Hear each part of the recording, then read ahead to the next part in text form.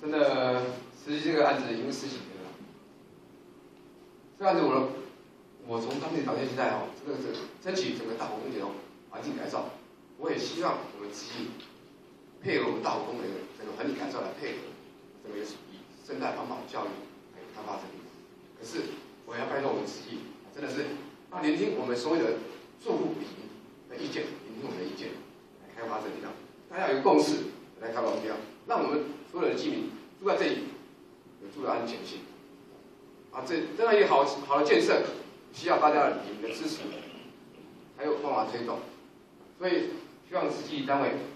多次跟我们的乡亲来好好的接触沟通，聆听大家的意见。好，再次也谢谢自己，也谢谢大家，谢谢。